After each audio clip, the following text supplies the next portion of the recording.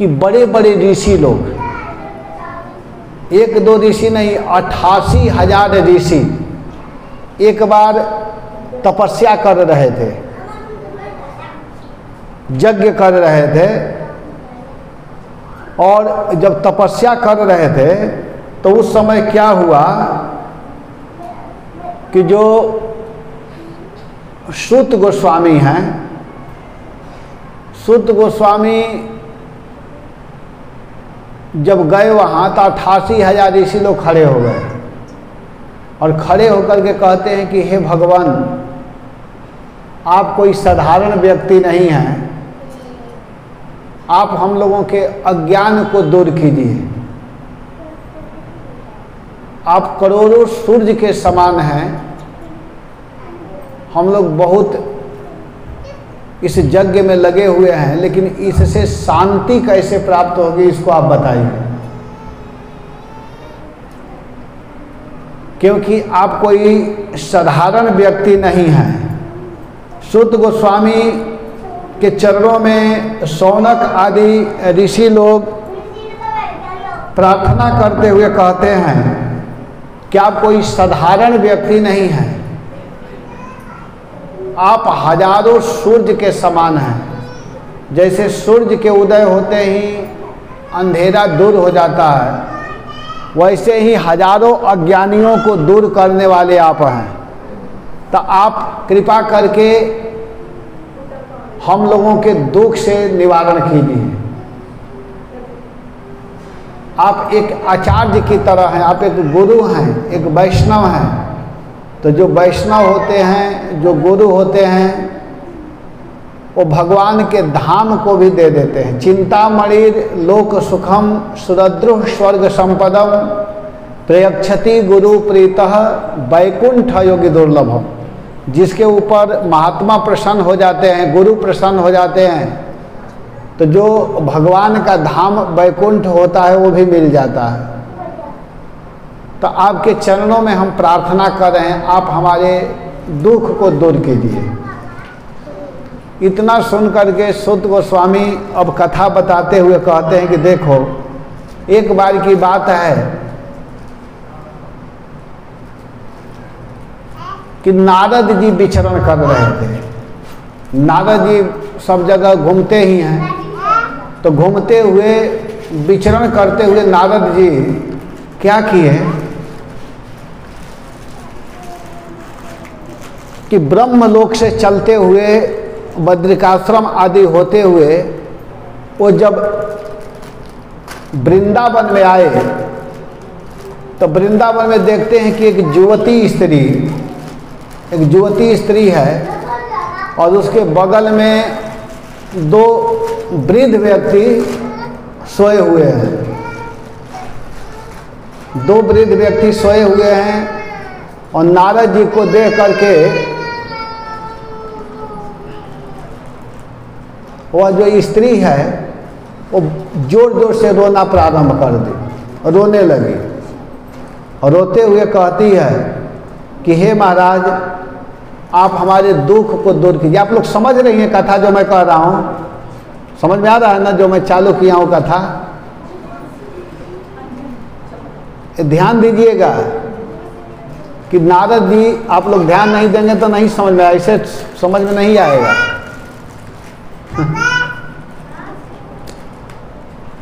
हरे कृष्णा हरे कृष्णा कृष्णा कृष्णा, हरे हरे। हरे राम हरे राम।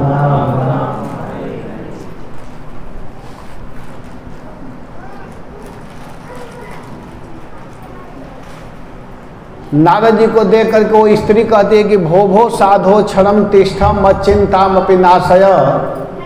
दर्शनम तव लोकस्य सर्वथा गहरम परम।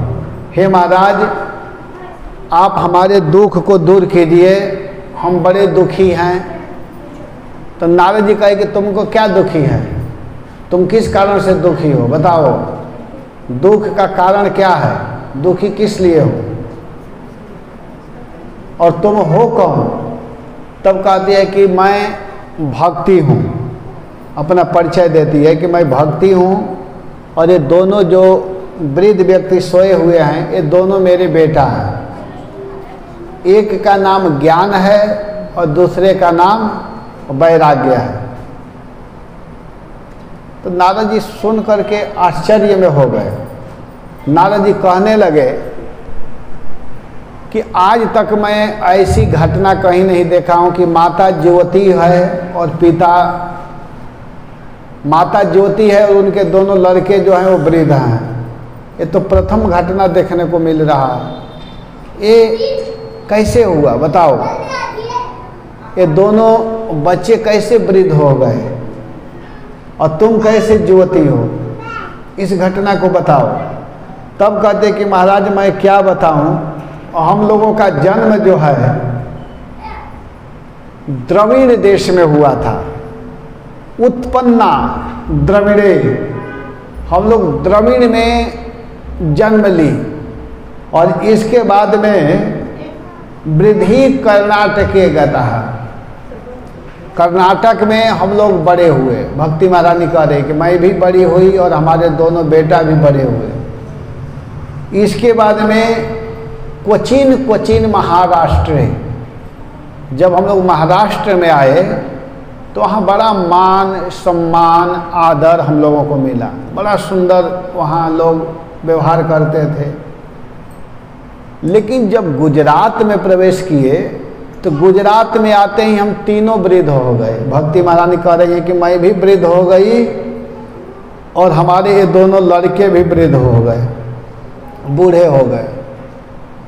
तो नारद जी कह रहे हैं कि जब तुम बूढ़ी हो गई तो फिर ज्योति कैसे हो गई हो? तो भक्ति महारानी कहती है कि जब वृंदावन में हम आई तो वृंदावन पुनः प्राप्यम नवीन स्वरूपिणी। जब वृंदावन में प्रवेश की तो वृंदावन में आते ही मैं सुंदर रूप वाली हो गई, सुंदर मेरा रूप हो गया। जो वृद्ध थी, जो बूढ़ी हो गई थी, वो मैं युवती बन गई। लेकिन मेरे लड़के ज्यों के त्यों हैं, वृद्ध के वृद्ध ही हैं। तो हे महाराज, आप कृपा करके कोई ऐसा उपाय कीजिए जिससे मेरे लड़के जवान हो जाएँ। हमारे लड़के भी युवक हो जाएँ। मैं यही चाहती हूँ। तो इतना सुन करके नादत जी कहे कि देखो, तुम चिंता मत करो, मैं कोई ना कोई उपाय करूँगा। भक्ति महारानी कहते हैं कि, हे नारद जी आप चाहेंगे तो आप हमारे दोनों लड़कों को जवान कर सकते हैं, क्योंकि आप एक साधु हैं। भक्ति महारानी कहती है कि, आपने बहुत लोगों का उद्धार किया है। साधु महात्माओं के पास में बैठ करके अपने दुख को कहना चाहिए। संत से दुख कहने से सारा दुख दूर हो जाता है व्यक्ति का। नारद जी से कहती हैं, भक्ति महारानी कि आप एक महात्मा हैं। जयति जगति माया जस्य काया धवस्ते। वचन रचन एकम केवलम चाकलय्य। ध्रुव पदमपि यातो यत्कृपातो ध्रुवोयम शकल कुशल पात्रम ब्रह्मपुत्रम नतास्म। करें कि हे महाराज, आपकी जय हो। आपने कयाधु के जो पुत्र प्रहलाद है, उसको आपने गर्भ में ही भागवत सुनाया। आपने छोटा बच्चा ध्रुव महाराज को आपने कथा सुनाया। भगवान के विषय में बताया, जिसको सुन करके उसके सारे दुख दूर हो गए। वो ध्रुव पद को प्राप्त कर लिया। तो आप चाहेंगे तो आप हमारे बच्चे को भी जवान बना सकते हैं। क्योंकि मैं बहुत दुखी हूँ। तो भक्ति महारानी नारद जी के चरणों में प्रार्थना करें। हम लोग भी भगवान के चरणों में थोड़ा प्रार्थना करते हैं। ठीक है ना? आप लोग सभी लोग प्रार्थना कीजिएगा मेरे साथ। एक भजन के द्वारा हम लोग भगवान के चरणों में प्रार्थना करेंगे, क्योंकि भगवान ही सबके दुख को दूर करने वाले हैं। अगर कोई व्यक्ति भगवान के शरण में जाता है तो भगवान उस व्यक्ति के दुख को दूर करते हैं। तो आप सभी लोग मीठी मीठी ताली और सुंदर आवाज़ में जितना गा सकते हैं, उतना गाइएगा। मैं गाऊँगा आगे आगे और पीछे से आप लोग भी गा सकते हैं। हम लोग, सभी लोग दुखी हैं क्योंकि हम लोगों का जन्म इस संसार में हुआ है। और संसार में जो भी जन्म लिए हैं, वो सब दुखी हैं।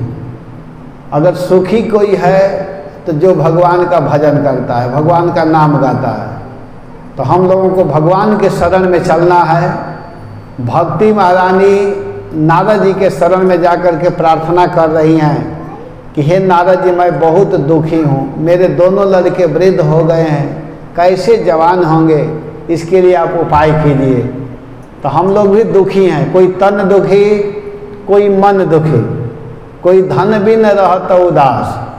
थोड़ा थोड़ा सभी लोग दुखी हैं और सुखी वही होंगे जो भगवान के शरण में जाकर के भजन गाएँगे।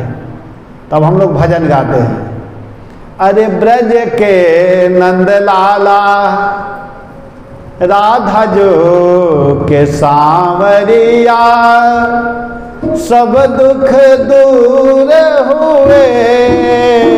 जब तेरा नाम लिया सब दुख दूर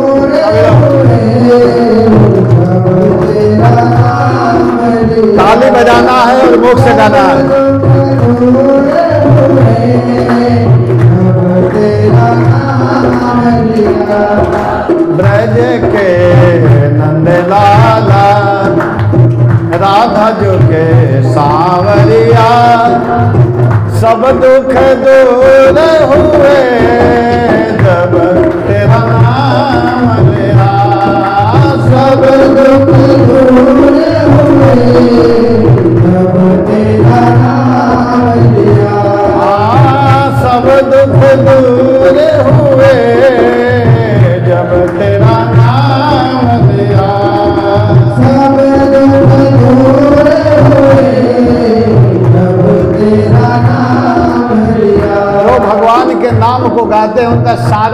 दूर हो जाता है। कोई कहेगा, किसका किसका दुख दूर हुआ है? केवल आप ऐसे ही सुना रहे हैं कि किसी का दुख दूर हुआ है? तो कह रहे हैं कि हुआ। मीरा पुकार तुम्हें, गिरवर गोपाला। मीरा पुकार तुम्हें, गिरवर गोपाला। मेरा पुकार तुम्हें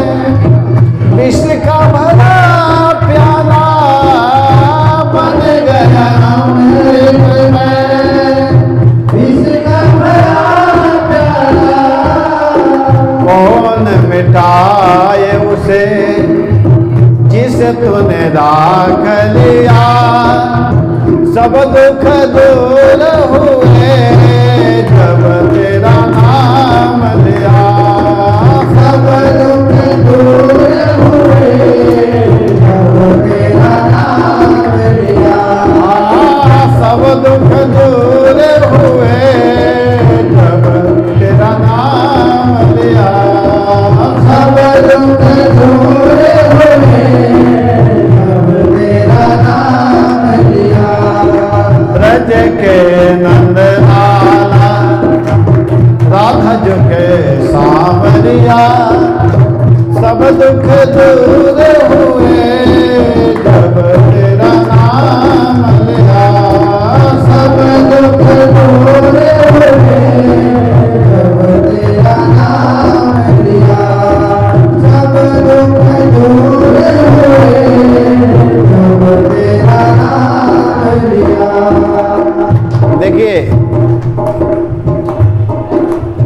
जी ने भगवान के शरण में गई। और मीरा जी जब भगवान के शरण में गई तो उनको पीने के लिए विष दिया गया था।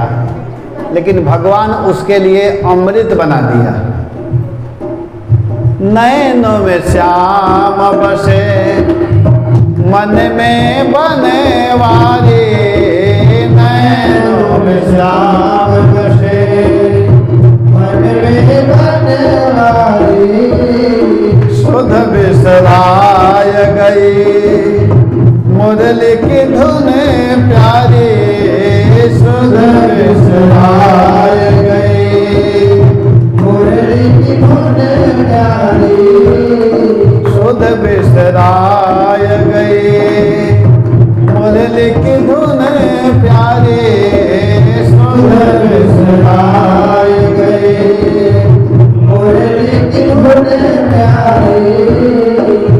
मन मंदिर में रास रचाओ रसिया मेरे मन मंदिर में। रास रचाओ रसिया। सब दुख दूर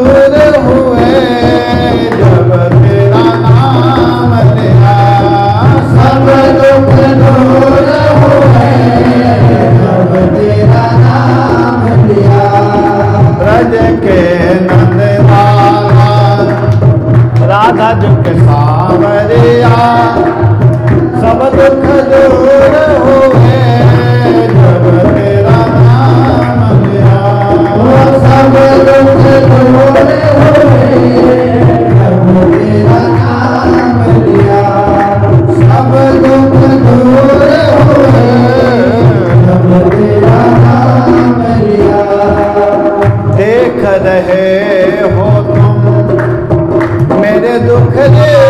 सारे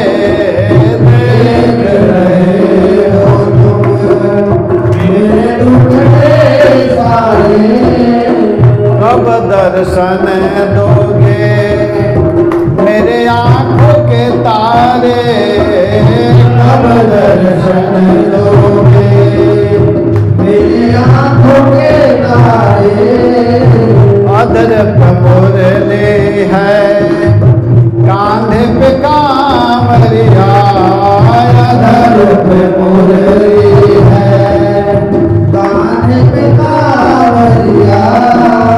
सब दुख दूर हुए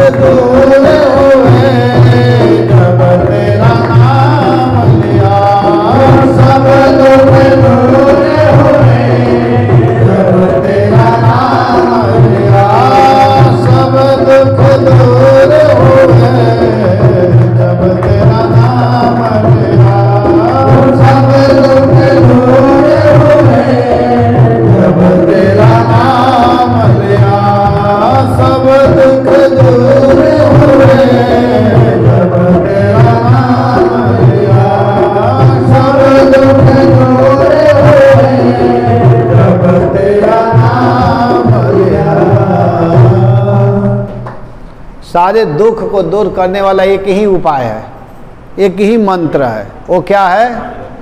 बोलिए, हरे कृष्णा। सभी लोग बोलिए इस मंत्र को। हाथ थोड़ा सा ऊपर कर लीजिए सभी लोग और बोलिए, मुख से बोलना है। क्या बोलना है? हरे कृष्णा। हरे कृष्णा। कृष्णा कृष्णा। हरे हरे। हरे राम। हरे राम। हरे राम। राम राम। राम राम। राम हरे हरे। हरे हरे। ये बहुत छोटा मंत्र है लेकिन बड़े बड़े दुख को दूर कर देता है। सभी लोग दुखी हैं ना कि नहीं दुखी हैं? किसी के सिर में दर्द है तो किसी के घुटना में दर्द है।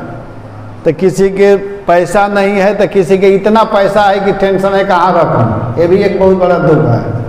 तो ये सारे दुख को दूर करने वाला एक ही औषधि है, एक ही दवाई है। वो क्या है? भगवान का नाम। ये ऐसा औषधि है कि इसको अगर कोई नियम से ले तो सारा समस्या दूर हो जाएगा। सारे टेंशन को दूर करने वाला यही भगवान का नाम है। सब दुख दूर हुए जब तेरा नाम लिया। वो नाम क्या है? हरे कृष्णा हरे कृष्णा। कृष्णा कृष्णा, हरे हरे। हरे राम हरे राम। राम राम, हरे हरे। अगर आप इस नाम का जप कीजिए तो आपका जितना समस्या है सब दूर हो जाएगा, लेकिन बोलना पड़ेगा। अगर कोई सोचे कि हम जपेंगे नहीं, केवल चुप रहेंगे तो दूर हो जाएगा तो नहीं होगा। आपको बोलना पड़ेगा। अगर कोई भी विपत्ति, कोई भी संकट, कोई भी समस्या अपने घर में है अगर पति पत्नी में खूब लड़ाई होता है तो उस समय जप चालू कर दीजिए, लड़ाई नहीं होगा। कभी झगड़ा नहीं होगा, लेकिन जपना पड़ेगा। इसको बोलना पड़ेगा। तो इस बात को कौन कह रही हैं? भक्ति महारानी। भक्ति महारानी कहती हैं कि, हे नारद जी, आप कोई साधारण व्यक्ति नहीं हैं। आपने तो बहुत लोगों का उद्धार किया है। तो हमारे भी दोनों बच्चों को सही कर दीजिए ना। हमारे दोनों बच्चे वृद्ध हैं, बूढ़े हो गए हैं। उनका कैसे उद्धार होगा, कैसे कल्याण होगा? ये दोनों कैसे जवान होंगे? तो नारद जी कहते हैं कि चिंता मत करो, मैं कोई ना कोई उपाय करता हूँ। और इतना कह कर के नारद जी वृंदावन से चल दिए।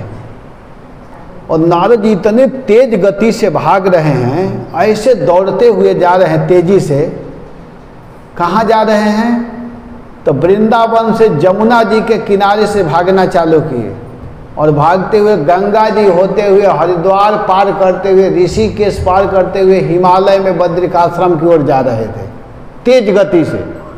और जब भाग रहे थे तो उधर से चार लड़के देखने में छोटे हैं, लेकिन नारद जी से भी बड़े हैं।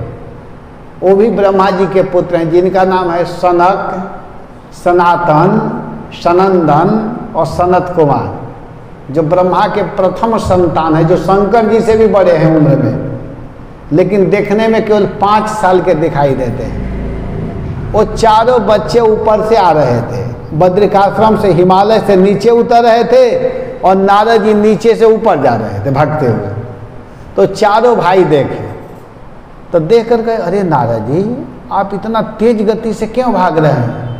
आप तो ऐसे परेशान दिखाई दे रहे हैं, जैसे किसी व्यक्ति का धन खो गया हो और धन के लिए छटपटा रहा हो। वैसे आप परेशान दिखाई दे रहे हैं। क्या बात है?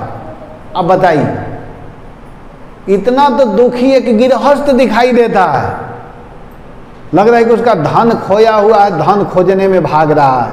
आप तो एक साधु हैं, एक विरक्त महात्मा हैं, एक सन्यासी हैं। आपको इस तरह दुखी होने की क्या आवश्यकता है? तो नारद जी सुन करके क्या बोले? नारद जी कहे कि मैं ज़रूर दुखी हूँ, अपने लिए नहीं, मैं दूसरे के लिए दुखी हूँ। साधु लोग दूसरे के लिए दुखी रहते हैं। नारद जी का पर्सनल कोई समस्या नहीं है। लेकिन नारद जी कहे कि, हे सनत कुमार, आप बिल्कुल सही बोल रहे हैं। मैं दुखी हूँ, लेकिन अपने लिए नहीं। तो सनत कुमार कहे कि, किसके लिए दुखी हो? तो कहते हैं कि, मैं भक्ति के लिए दुखी हूँ। कि भक्ति के दो लड़के हैं, वो दोनों लड़के वृद्ध हो चुके हैं। उन दोनों को कैसे जवान बनाया जाए? कैसे तरुण बनाया जाए? तो इतना सुन करके सनत कुमार हंसने लगे। और हँसते हुए कहे कि महाराज, आपके पास में वो दवाई है और आप इधर उधर भाग रहे हैं। आपने व्यास देव जी को इतना सुंदर कथा सुनाया भागवत, और उस कथा को सुन करके व्यास देव जी के दुख दूर हो गया। तो आप उसी भागवत कथा का आयोजन कीजिए। भागवत कथा कराने से सारा दुख दूर हो जाता है। आप एक ऐसा अनुष्ठान करवाइए वो सात दिन की कथा करानी है। और उस कथा को कराएँगे तो जो भी समस्या होगा सब दूर। इतना सुन करके नारद जी कहे कि भागवत करानी है तो हाँ तो कब कराया जाए? उसका समय बताइए, उसका मुहूर्त बताइए। तो कहे कि देखो, कोई भी शुभ काम कराना होता है तो ज़्यादा देर नहीं करना चाहिए, विलंब नहीं करना चाहिए। जितना शीघ्र हो, उतना ही जल्दी कर लो। क्योंकि अच्छे विचार जब मन में आता है तो उसको जल्दी कर लेना चाहिए। नहीं तो होता क्या है कि कभी कभी मन बदल जाता है। मन में आया कि भागवत सुनना है, और तब तक कहेंगे, चलो, इस बार नहीं, बाद में करवाता हूँ। और तब तक बाद में आते आते कहेंगे, अरे, अब कैसे कराएँगे? छोड़ो बाद में करवाएँगे। इसलिए कहा जाता है कि जो शुभ विचार आता है मन में तो उसको जल्दी करना चाहिए। और गलत विचार मन में आता है तो उसको टालना चाहिए। मान ली किसी का अहित करने की इच्छा हो रहा है तो कहना चाहिए चलो, आज नहीं करेंगे, कल करेंगे। कल नहीं, परसों करेंगे। तो शायद मन बदल जाएगा, आप अहित नहीं करेंगे। और शुभ काम करने की इच्छा हो रहा है तो तुरंत कर लेना चाहिए। तो सनत कुमार कहे कि आप जल्दी भागवत का आयोजन करवाओ। तो नारद जी क्या किए कि हरिद्वार में भागवत कथा का आयोजन करवाए? नारद जी स्वयं श्रोता बन जाते हैं और चारों भाई जो सनत, सनातन, सनंदन और सनत कुमार, चार भाई को वक्ता बनाए। ये भागवत की परंपरा है, एक ही वक्ता नहीं होते हैं। तीन तीन चार चार पाँच पाँच वक्ता हो जाते हैं। तो चारों भाई को वक्ता बनाया गया और नारद जी खुद श्रोता बन गए। और किसके लिए भागवत कथा करा रहे हैं? भक्ति के दोनों लड़कों को युवक बनाने के लिए, जवान बनाने के लिए। तो भागवत कथा का आयोजन करवाए और स्वयं श्रोता बन जाते हैं। और श्रोता बन करके क्या करते हैं नारद जी कि संकल्प किए। संकल्प यह किए कि हे भागवत भगवान, आप कृपा करके भक्ति के दोनों लड़कों को युवक कीजिएगा, मैं कथा सुन रहा हूँ। और जब ही भागवत कथा प्रारंभ किया गया सनत कुमार के द्वारा तो एक दिन की कथा हुई, दो दिन की हुई, तीन दिन की हुई, चार दिन की हुई, और ऐसे कथा होते होते होते होते जब सात दिन की कथा पूर्ण हुई तो उस समय क्या हुआ कि देखते देखते भक्ति सुतौ तरुण तरुणौ गृहीत्वा प्रेमैक रूप सहसा विरासी। देखते देखते भक्ति के दोनों लड़के युवक हो गए, जवान हो गए। और भक्ति महारानी जो वृंदावन में थी, वो भक्ति महारानी हरिद्वार में नृत्य करते हुए पहुँच गई और भगवान के नाम गाते हुए, श्री कृष्ण गोविंद हरे मुरारे, नाथे तिनामानि मोर बदंती। श्री कृष्ण गोविंद हरे मुरारे हे नाथ नारायण वासुदेव।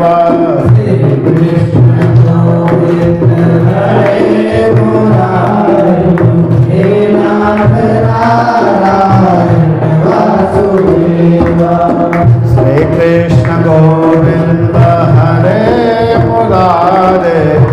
हे नाथ नारायण वासुदेव। हे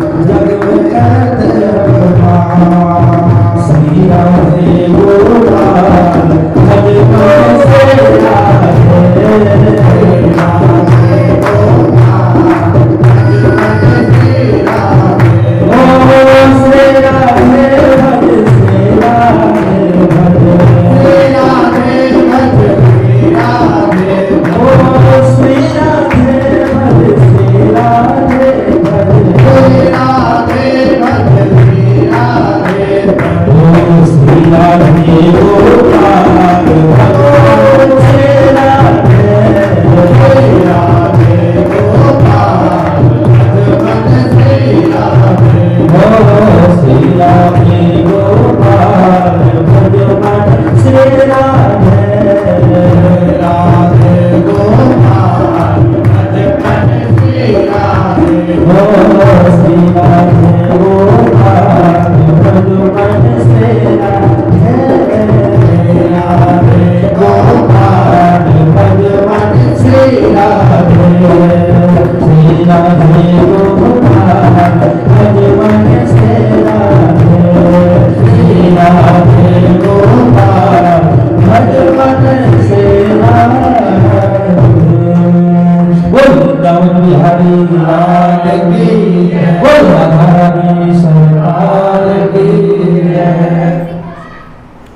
प्रकार भक्ति महारानी अपने दोनों बच्चों को लेकर के वहाँ प्रकट हो गई। दोनों लड़के जवान हो चुके थे, भागवत सुन करके।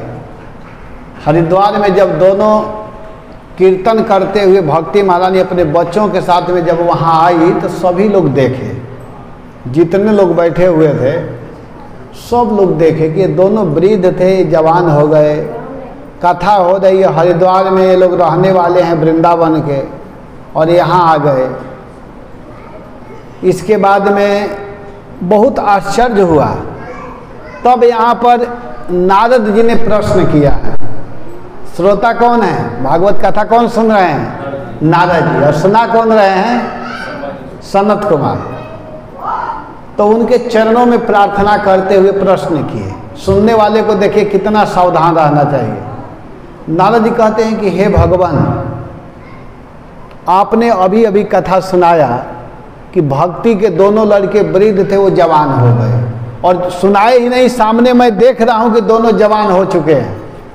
तो बताइए कि भागवत सुनकर के कौन कौन पवित्र होता? है किसका किसका उद्धार होता? है तब नारद जी के बात को सुन करके सनत कुमार कहते हैं कि, देखो जो पापी व्यक्ति है, वो भी भागवत सुनता है तो उसका पाप दूर हो जाता है, भागवत सुन करके। जो क्रोधी व्यक्ति है, जो कामी व्यक्ति है, जो लोभी व्यक्ति है, जो दिन रात झूठ बोलता है, असत्यवादी, वो भी व्यक्ति अगर कथा सुन लेता है तो उसका कल्याण होता है। जो दम्भी व्यक्ति है, जो निर्दयी है, जो क्रूर व्यक्ति है इसमें ऐसा ऐसा लिखा है कि जो किसी का हत्या कर दिया है, हत्या बहुत लोग किए हैं ना, कोई बकरा का हत्या किया है तो कोई मुर्गा का हत्या किया है।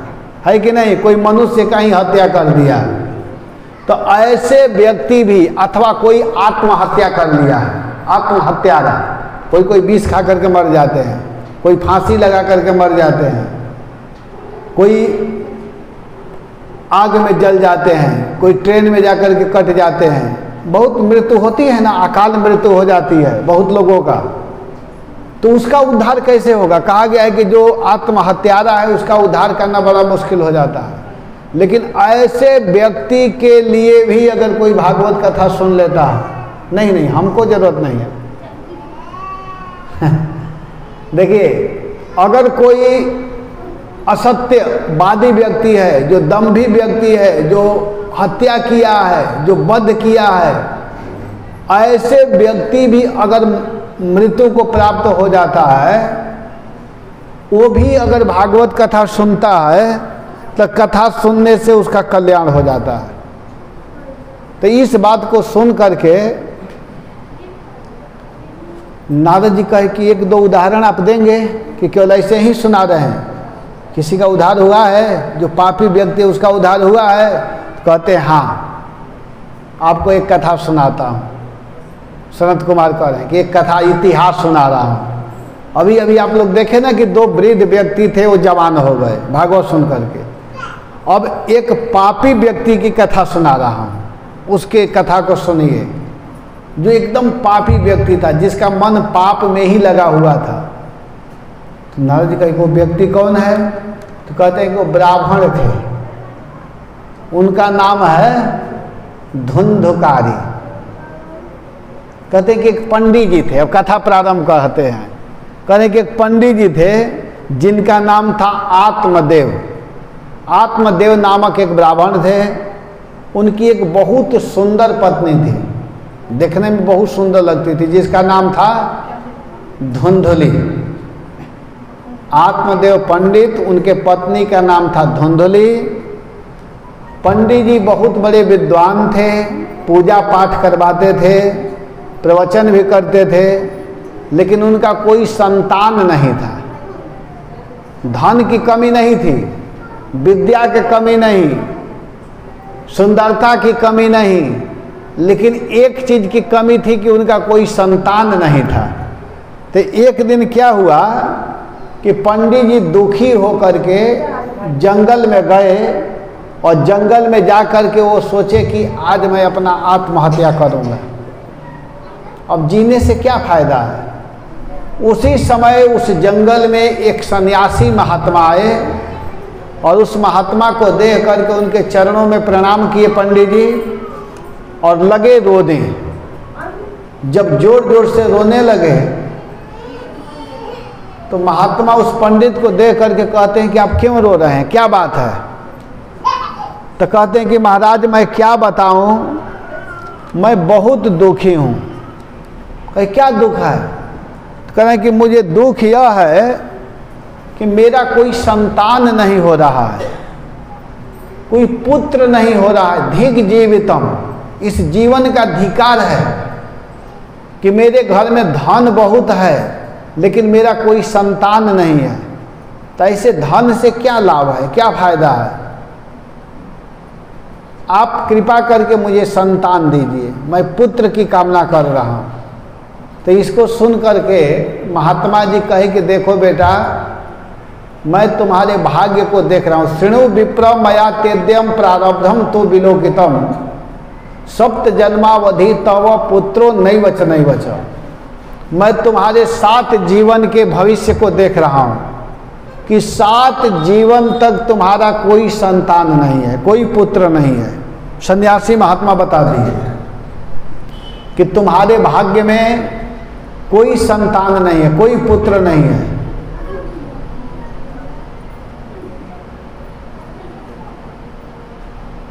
इस बात को सुन करके वो पंडित जी विचार करने लगे। कि ये महात्मा कोई साधारण महात्मा नहीं है। एक जीवन की बात कोई कोई बताते हैं और इसको तो सात जीवन के बात मालूम है। तो जिसको सात जीवन के विषय में जानकारी है, क्या वो मुझे पुत्र नहीं दे सकता है? जो सात जीवन के विषय में जान सकता है, वो तो मुझे संतान भी दे सकता है। महात्मा जी बोले कि देखो, तुम्हारे भाग्य में पुत्र नहीं है, लेकिन वो ब्राह्मण अपने बुद्धि का प्रयोग करते हुए कहते हैं कि जो सात जीवन के विषय में जान सकता है, वह मुझे संतान भी दे सकता है। तो कहे कि, हे महाराज, आप मुझे संतान दीजिए, नहीं तो मैं आपके सामने ही आत्महत्या कर लूँगा। अपने आप को मृत्यु को प्राप्त हो जाऊँगा। अपने आप को मैं मार दूँगा। इतना सुन करके महात्मा जी देखे कि ये ब्राह्मण ऐसे समझने वाला नहीं। है तो क्या किए कि तुरंत जंगल में थे ही, जंगल में से एक सुंदर फल, वृक्ष था और उस वृक्ष से एक फल निकाले और निकाल करके उस फल को पंडित जी को दिए। जिस पंडित का नाम था आत्मदेव। आत्मदेव ब्राह्मण को दिए और कहे कि लो इस फल को और ले जा करके अपने पत्नी को खिला देना। इस फल को आपकी पत्नी जब ग्रहण करेगी, खाएगी तो इससे सुंदर संतान, सुंदर पुत्र का जन्म होगा।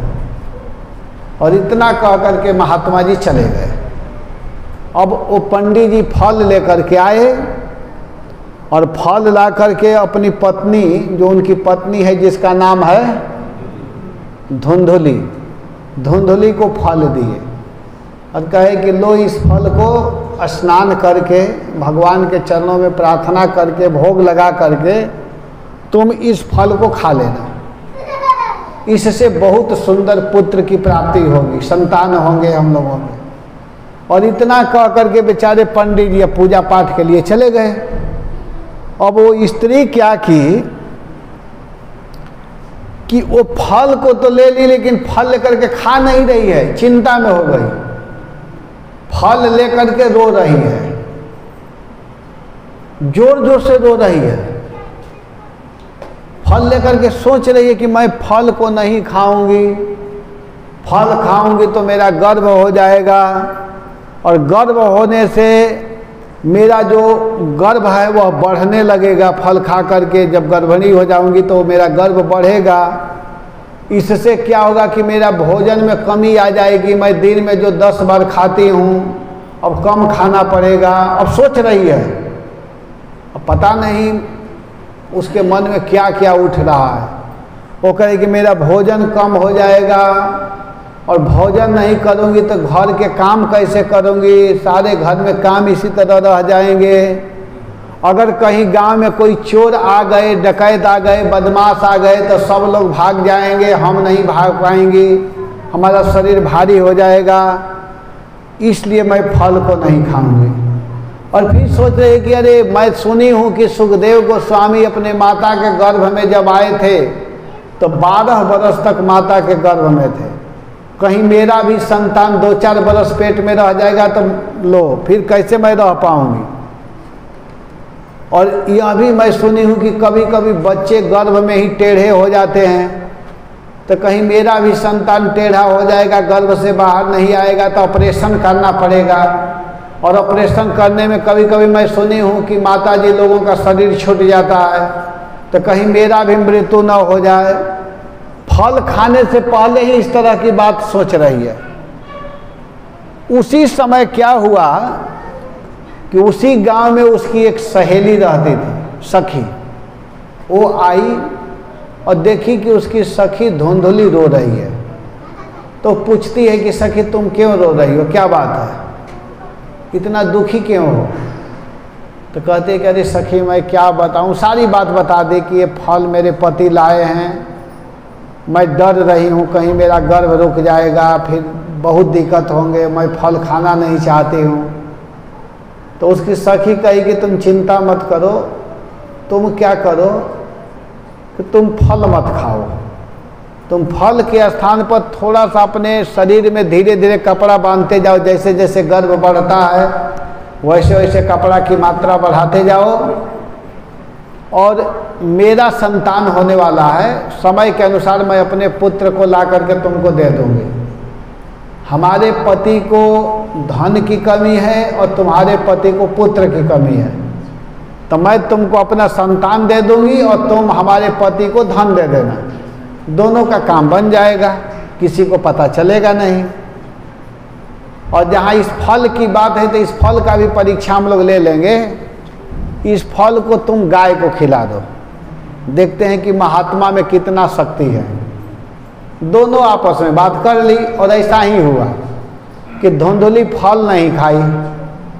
जो फल था, उस फल को गाय को खिला दी और अपने फल न खा करके जैसे जैसे माताओं का गर्भ बढ़ता है, वैसे वैसे वो कपड़ा अपने भीतर डालने लगी और समय के अनुसार उसके सखी का संतान हुआ, वो ला करके उसको दे दी और एक घोषणा कर दी कि मेरा पुत्र हुआ। उस समय आत्मदेव पंडित जी आए आकर के नामकरण करने के लिए चले कि चलो भाई, अब इसका नाम रखा जाए, लड़का हुआ है, नामकरण किया जाए। तो धुंधली कहते कि आप इसका नाम नहीं रखेंगे। बहुत लोगों का नामकरण किए हैं, लेकिन इस लड़का का नाम तो मैं रखूँगी। तो पंडित जी कहे, क्या रखोगी? कहते कि, मेरा नाम धुंधली है, इसलिए बेटा का भी नाम धुंधकारी होगा। जैसे आजकल के माता जी लोग रख देती हैं ना अपने बच्चों का नाम। किसी साधु ब्राह्मण वैष्णव को नहीं बुलाते हैं। जो मन में आता है वहीं रख देते हैं। टिंकू, पिंकू, चिंटू, कुछ भी रख देते है ना। है कि नहीं? मंगलो क्या क्या नाम रखते हैं पता नहीं। जिसका कोई अर्थ नहीं है। कभी भी अपने बच्चों का नाम अपने से नहीं रखना चाहिए, दोष लगता है। नाम रखना चाहिए तो किसी साधु के द्वारा, किसी ब्राह्मण के द्वारा, जो योग्य ब्राह्मण है, जो खैनी तक न खाते हो। गुटखा पान न खाते हो, ऐसे ब्राह्मणों से नाम रखवाना चाहिए। साधुओं से रखवाना चाहिए। आजकल फ़ैशन चल दिया है। किसी से लोग कथा करवाते हैं, किसी से पूजा करवा लेते हैं, लेकिन ये सब नहीं कराना चाहिए। ये जानना चाहिए, आप जो कर्म कर रहे हैं, इसको ध्यान देना चाहिए कि जो करने वाला है वो कैसा है। भागवत कथा कराने की विधि है। कि किससे कथा करानी चाहिए? इसको मैं बताऊँगा अभी कि कथा करने वाले को कैसे होना चाहिए। आजकल भीड़ लगी हुई है कथा करने वालों को भी। जहाँ देखिए बस कथा करने वाले बैठे हुए हैं। लेकिन क्या कह रहे हैं, क्या सुना रहे हैं, क्या बता रहे हैं, ये देखना चाहिए। अभी माता जी कह रहे हैं कि पंखा चला दिया जाए। और मैं कह रहा हूँ कि नहीं। क्यों क्यों मैं पंखा बंद किया हूँ? कि कथा सही सही कान में आवाज़ जाए। ये नहीं कि ढम ढम ढम ढम ढम ढम, कुछ बजे कुछ भी हो। भागवत का मतलब है कि एक एक शब्द कान में जाना चाहिए। सुविधा तो अपने घर में जाकर एसी चला कर सोइए कौन माना किया? है कूलर चला करके सोइए कोई माना किया? है यहाँ हम लोग एक तपस्वी जीवन बिताने के लिए दो घंटा आए हैं। और इस तपस्या को जब हम करेंगे तो इसका फल बहुत मीठा बन करके आएगा। अगर मान ली हम पंखा चला देते हैं तो पंखा का ही आवाज़ आएगा। प्रेम से कथा सुनना है। आखिर जिसके लिए हम लोग आयोजन किए, इस कथा को कराने में लाखों रुपया खर्च होगा। और आप लोग इतना पैसा खर्च करेंगे, और मैं कुछ भी न सुनाऊँ, ऐसे ही चला जाऊँ तो दोष मुझ पर लगेगा। आपको तो पता नहीं है लेकिन मुझको पता है। कि ईमानदारी से लोगों को सुनाना चाहिए, देना चाहिए। ये भगवान की वाणी है। भगवान की यह दिव्य कथा है। तो कभी भी नाम रखना चाहिए तो शुद्ध ब्राह्मण को बुला करके नामकरण करवाना चाहिए, शुद्ध वैष्णव को बुलाना चाहिए, शुद्ध साधु को बुलाना चाहिए। लेकिन वो धुंधली के पति बहुत अच्छे ब्राह्मण थे, लेकिन अपने पति के द्वारा नाम नहीं रखवाई। वो खुद उसका नाम रखी। उसका नाम क्या रखी? धुंधकारी। धुंधकारी क्यों रखी कि उसका नाम धुंधली है? तो कह रहे कि मेरा नाम जो है ना, उसी से युक्त मेरे बेटा का नाम होगा। अब पंडित जी बेचारे कुछ कर नहीं पाए। कहे, ठीक है, जो मन करे सो करो। और इधर क्या हुआ कि जिस गाय को फल खिलाया गया था, जिस गाय को फल खिलाया गया था, उस गाय के द्वारा तीन महीना के बाद त्रिमासे निर्गते चाथ साधेनो सुसवेर भकम सर्वांग सुंदरम दिव्यम निर्मलम कनक प्रभम उस गाय से एक सुंदर बालक का जन्म हुआ जिसका शरीर सोना जैसा चमक रहा था, स्वर्ण। गाय से एक सुंदर पुत्र हुआ, बहुत सुंदर उसका शरीर था। बालक, मनुष्य का बालक जन्म लिया। लेकिन केवल शरीर में कान जो था, वो गाय के समान था। इसलिए उस बालक का नाम आत्मदेव पंडित जी रखे। क्या रखे? आप लोग बताइए। आप लोग कथा सुनती है ना यूट्यूब पर एक माता जी आई थी सुबह सुबह, कही कि मैं कथा रोज सुनती हूँ। तो मैं कहा कि अच्छा ठीक है, मैं बताऊँगा क्या सुनती हूँ। कहाँ वो माता जी हैं भी नहीं। उस बालक का क्या नाम था? बोलिए, गोकर्ण। उस लड़का का नाम था गोकर्ण। बहुत सुंदर वह बालक था। शरीर सोने जैसा चमक रहा था। सब शरीर सुंदर था, लेकिन कान गाय के समान था, इसलिए उस बालक का नाम हो गया गोकर्ण। अब हुआ क्या कि एक बालक का नाम हुआ धुंधकारी, जो उसके सखी का लड़का था, सहेली का लड़का था, धुंधली का लड़का नहीं था। ये ध्यान देना। और एक बालक ये थे जो गाय के द्वारा जन्म लिए थे, जिसका जन्म फल खाने से हुआ था। तो दोनों छोटे छोटे बच्चे थे, लेकिन दोनों में कितना अंतर था? देखिए, बच्चे से ही पता चल जाता है कि लड़का क्या करेगा। अब हुआ क्या कि दोनों छोटे बच्चे थे, लेकिन एक लड़का उत्पात करता था।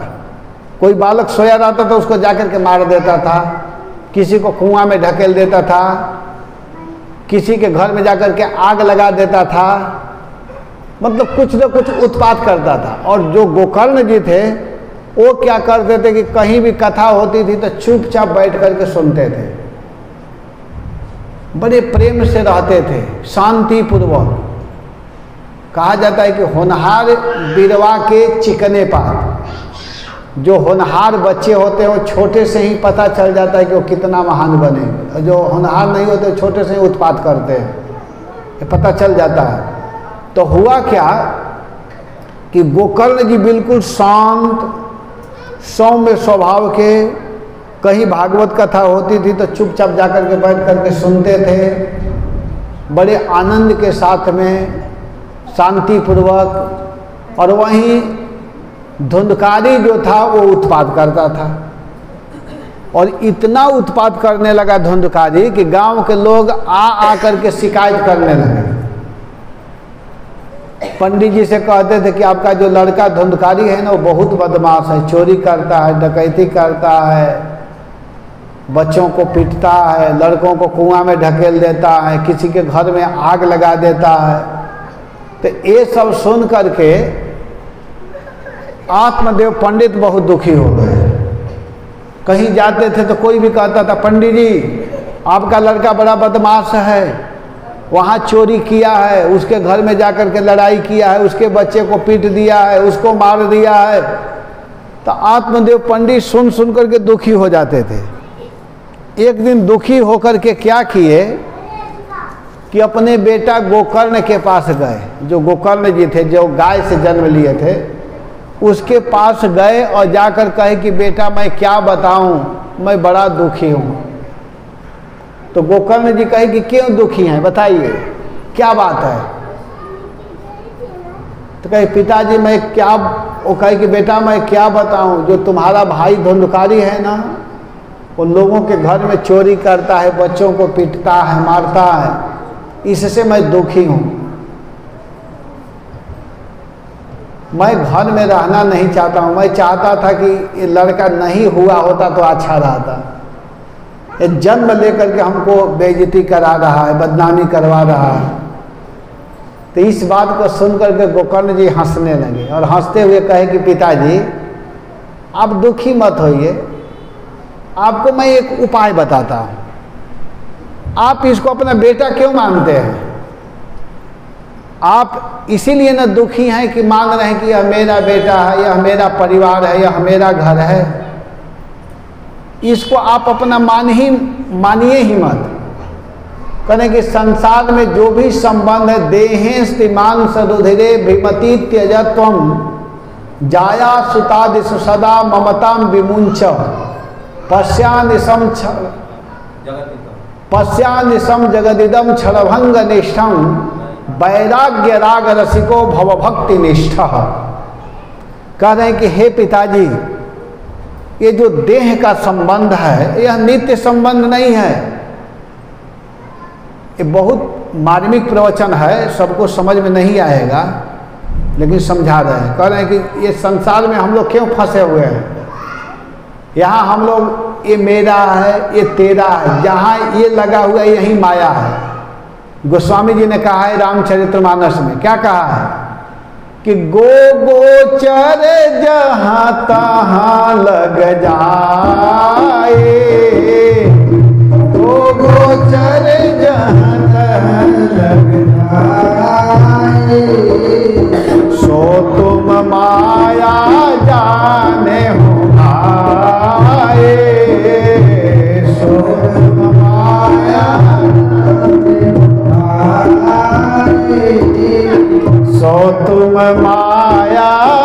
जाने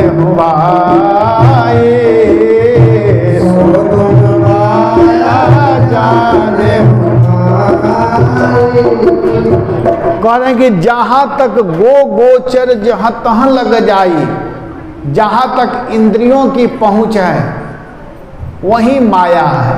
अहम और मम, यह मेरा, यह तेरा, यही माया है। इसी को माया कहते हैं। यही तो माया है कि यह तुम्हारा है, यह मेरा है। इससे जो अलग उठ गया है, वो माया को पार कर गया। तो गोकर्ण जी कहते हैं कि, हे पिताजी, आप क्या कीजिए कि आप ये सब झंझट को छोड़ करके, ये बहुत बड़ा झंझट है, ये बहुत बड़ा समस्या है। इन सब समस्याओं से अलग होना है। आप क्या कीजिए कि धर्म भजस्व सततम तेजलोक धर्मान। सेवस्व साधु पुरुषान, जहि काम तृष्णाम। अन्यस्य दोष गुण चिंतन, मास मुक्त्वा सेवा कथा रसमहो नितराम पिबत्व। इन सब झंझटों को छोड़ करके आप भगवान के भक्ति करने के लिए निकल जाइए। आप केवल भगवान का भजन कीजिए भगवान का नाम जपिए। हरे कृष्णा हरे कृष्णा। कृष्णा कृष्णा हरे हरे। हरे राम हरे राम राम राम हरे आप क्या कीजिए कि इन सब झंझटों से अलग हो जाइए। तब आप माया को पार कर जाएँगे। आप दुखी इसीलिए है ना कि ये मेरा बेटा है। मान रहे हैं कि हमारा लड़का इसलिए दुखी है, लेकिन वास्तव में ये आपका बेटा नहीं है। बेटा का काम है पुत्र का मतलब क्या होता है? पुत्र कौन होता है? जानते हैं? आप लोग भी ध्यान देकर के सुन लीजिए। पुत्र उसको कहते हैं कि पूत माने पाप होता है। सुनिए, तरुण जी, ध्यान दीजिएगा। सभी लोग ध्यान दीजिए, पुत्र किसको कहते हैं? पहले ध्यान दे लीजिए। पुत्र का मतलब होता है पाप। अत्र माने जो छुटकारा करा दे। जो पाप से बचिए, शांत रहो। जो पाप से मुक्ति करा दे, छुटकारा करा दे, उसको पुत्र कहते हैं। पुत्र। पुत्र माने लड़का का काम है कि माता पिता को इस नरक से उबार दे। इस संसार एक नरक है। हम लोग एक बहुत बड़े गड्ढा में गिर चुके हैं। ये बुद्धिमानी नहीं है कि संसार में जब हम लोग रह रहे थे, मत समझिए कि बुद्धिमानी है। बुद्धिमानी इसमें है कि इस संसार से पार हो जाए। जो इस संसार से जन्म जन्म और मृत्यु जन्म मरण से जो छुटकारा करा दे, जो इस भव सागर से पार करा दे, उसको पुत्र कहते हैं। पुत्र का मतलब होता है जो पापों से मुक्त करके जो भगवत धाम को प्राप्त करा दे, उसी को पुत्र कहते हैं। तो प्रत्येक लड़का का कर्तव्य है, धर्म है कि अपने माँ को, अपने पिता को भगवान के धाम तक पहुँचा दे। वही पुत्र है। अगर वह भगवान के धाम नहीं पहुँचाया तो समझिए कि वो पुत्र नहीं है। उसको क्या कहते हैं? पुत्र नहीं कहते हैं। वो मूत्र के समान है। भागवत में लिखा हुआ है, वो पुत्र नहीं है, वह मूत्र है। माता सुमित्रा जी कहती हैं, लक्ष्मण जी को। जब लक्ष्मण जी को पता चला कि भगवान रामचंद्र वन में जा रहे हैं तो भगवान के पास में लक्ष्मण जी आए। और लक्ष्मण जी कहे कि भैया मैं भी चलूँगा। तो भगवान राम कहे कि अगर तुमको जाना है तो अपने माता जी से पूछ करके आओ। मैं तो अपने माता पिता से आदेश लेकर के जा रहा हूँ। तो लक्ष्मण जी गए अपने माँ के पास। उनकी माता जी कौन है? लक्ष्मण जी के माँ का क्या नाम है? सुमित्रा जी। तो सुमित्रा जी के पास गए। तो सुमित्रा जी क्या कहते हैं? अरे बेटा, पुत्रवती जुवती जग सोई रघुपति भगति जासु सुत होई। माता सुमित्रा जी कहते कि, हे बेटा, वही माँ माँ है। पुत्रवती जुवती जग सोई वही पुत्रवती माँ है, जिसका बेटा भगवान का भजन करता है। अगर वह भजन नहीं कर रहा है लड़का, भगवान का नाम नहीं जप रहा है, केवल सिगरेट पी रहा है, केवल शराब पी रहा है, केवल गंजा पी रहा है तो पुत्र नहीं है। उससे तो अच्छा है, माता सुमित्रा जी कहते कि उससे तो अच्छा है कि बांझ बिना पुत्र के रहा जाए। उस माँ से वह माँ अच्छी है, जिनका कोई संतान नहीं है। जिसका संतान, जिसका पुत्र जन्म लेकर के केवल शराब पी रहा है, केवल सिगरेट पी रहा है, केवल गांजा पी रहा है, केवल मांस खा रहा है, केवल व्यभिचार कर रहा है और भगवान का भजन नहीं कर रहा है तो समझिए कि उससे तो अच्छा है कि लड़का ही नहीं हुआ होता और लड़का है तो उसका काम है भगवान का भजन करना। तो यहाँ पर आत्मदेव पंडित जी से गोकर्ण जी कहते हैं कि, हे पिताजी, आपको क्या करना है कि सब कुछ छोड़ करके आप जंगल में जाइए और वहाँ जा कर के भगवान के नाम जपिए और भगवान को प्राप्त हो जाइए। आप ये मोह माया छोड़ दीजिए। इतना सुन कर के आत्मदेव पंडित क्या किए कि अपने घर को छोड़ करके गए जंगल में और वहाँ जाकर के भागवत के दसम स्कंद का पाठ करते हुए भगवान को प्राप्त हो गए। जब वो चले गए तो गोकर्ण जी भी अपने घर को छोड़ करके निकल गए। इधर क्या हुआ कि जो धुंधकारी था और पिताजी चले गए, भाई गोकर्ण चले गए। अब वो गलती काम करना प्रारंभ किया। एक नहीं, पाँच बेस्याओं को अपने घर में लाया। पाँच बेस्या को। और अपनी माँ जो धुंधली थी, उसको डंडा से पीटता था। जो भजन नहीं करते हैं, लड़के अपने माँ को मारते हैं, अपने पत्नी को मारते हैं, अपने पिता को मारते हैं, शराब पी करके आते हैं तो यही सब करते हैं ना? क्योंकि वो तो भजन करते नहीं हैं। तो अपने माँ को मारता था, कहता था, पैसा दो। जब तक पैसा था, तब तक तो देती रही। जब पैसा खत्म हो गया, तब पीटता था एक दिन उसकी माँ कुआँ में गिर करके मृत्यु को प्राप्त कर गई, मर गई। वो क्या किया कि पाँच बेस्याओं को खुश करने के लिए चोरी करता था, डकैती करता था। एक दिन पाँचों बेस्याएँ आपस में मीटिंग की और मीटिंग करके उस दुष्ट, धुंधकारी के दोनों पैर को बाँध दी, दोनों हाथ को बाँध दी और जलती हुई लकड़ी उसके मुख में डाल डाल करके उसको मार दी। और मारने के बाद में घर में ही गड्ढा खोदी और गड्ढा खोद करके ज़मीन में डाल करके ऊपर से मिट्टी डाली, ताला बंद के चली गई घर से, पैसा लेकर के सब। अब वो क्या बन गया? प्रेत। वो भूत बन गया, भूतात्मा, प्रेतात्मा। वही जीवात्मा, प्रेतात्मा बन गया। प्रेत कौन बनता है? भूत कौन बनता है? जिसकी अकाल मृत्यु होती है, जो भजन भक्ति नहीं करता है, उसका उद्धार नहीं होता है, वो नरक में गिर जाता है, वह प्रेतात्मा बन जाता है, वो भूतात्मा बन जाता है। तो धुंधकारी देखिए, जीवन में कितना उत्पाद किया, व्यभिचार किया, चोरी किया, डकैती किया, अपने माता पिता को मारा, शराब पिया, और मरने के बाद में प्रेत बन गया, भूत। भूत बन गया। अब हुआ क्या कि गोकर्ण जी तीर्थ में निकले हुए थे धीरे धीरे उनके कान तक शब्द पहुँच गया कि तुम्हारा भाई मृत्यु को प्राप्त हो गया। है तो गोकर्ण जी घूम रहे थे बेचारे तीर्थों में। तो घूमते घूमते बिहार में गए हुए थे उस समय। बिहार में एक जगह है जिसका नाम है गया। गया का नाम सुने हैं? बोध गया। वहाँ तर्पण किया जाता है, श्राद्ध किया जाता है, पिंडदान किया जाता है। तो वो सोचे कि चलो मेरा भाई मर गया है तो हम अपने भाई के लिए थोड़ा तर्पण कर देते हैं, पिंडदान कर देते हैं। तो वो पिंडदान किया और पिंडदान करने के बाद में अपने घर आया। तो एक दिन आया, रात्रि के समय हो रहा था, लगभग मध्य रात्रि बारह बज रहा था। उसी समय क्या हुआ कि उसके सामने वहीं धुंधकारी प्रेत बना हुआ है।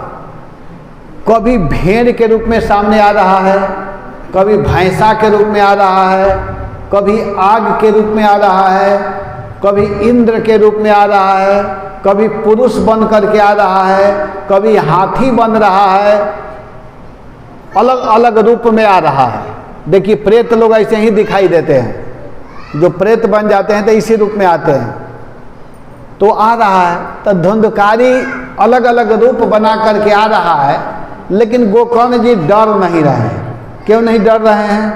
क्योंकि उनके गले में कंठी था, माथे पर तिलक था, मुख में भगवान का नाम था। हरे कृष्णा हरे कृष्णा कृष्णा कृष्णा, हरे हरे हरे राम हरे राम राम राम हरे। इसलिए वो डर नहीं रहे थे। उनको भय नहीं लग रहा था। जो भगवान का नाम गाता है, वो कभी डरता नहीं है। उसके पास भूत प्रेत चढ़ाई नहीं करते हैं, ध्यान देना चाहिए।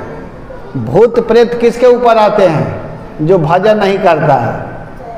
जो भगवान को भोग नहीं लगाता है, जो भगवान के नाम का कीर्तन नहीं करता, उसके घर में भूत जाते हैं।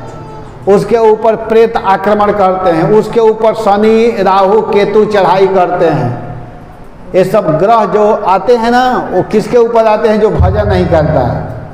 और जो भजन करता है, जो भागवत सुनता है, भागवत पढ़ता है, भागवत कथा कराता है तो उसके घर में ये सब रहते भी हैं तो भाग जाते हैं और फिर नहीं आते हैं।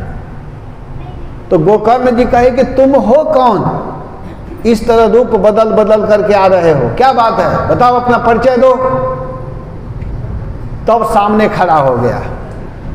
और हाथ जोड़ करके कहता है कि अहम भ्राता त्वदीयोस्मि वो प्रेत बोल रहा है। जो प्रेत था वो बोल रहा है कि अहम भ्राता त्वदीयोस्मि धुंधकारिति नामत।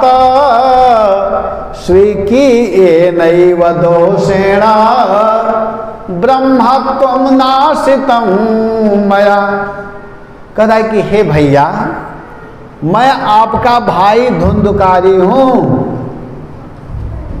मैं आपका ही भाई धुंधकारी हूँ। तो कहे कि मेरा भाई तो हाँ तो मेरा भाई प्रेत कैसे बन गया? तो कह रहा है कि इसमें आपका दोष नहीं है, इसमें पिताजी का दोष नहीं है, इसमें माता जी का दोष नहीं है, सारा दोष मेरा है स्वकीय नहीं व दोषेण ब्रह्मत्व नाशितम मया। कह रहा है कि मेरे द्वारा ही ब्रह्मत्व को नष्ट कर दिया गया था। मैं ब्राह्मण कुल में जन्म लिया था। ब्राह्मण का काम है वेद पढ़ना, पढ़ाना, यज्ञ करना, कराना, दान लेना, दान देना। लेकिन मैं इन छह कामों को नहीं करता था, इसके विपरीत करता था। इसीलिए गोस्वामी जी ने कहा है कि कौन काहू के सुख दुख कर दाता सुख दुख निज कृत कर्म भोग सब भ्राता।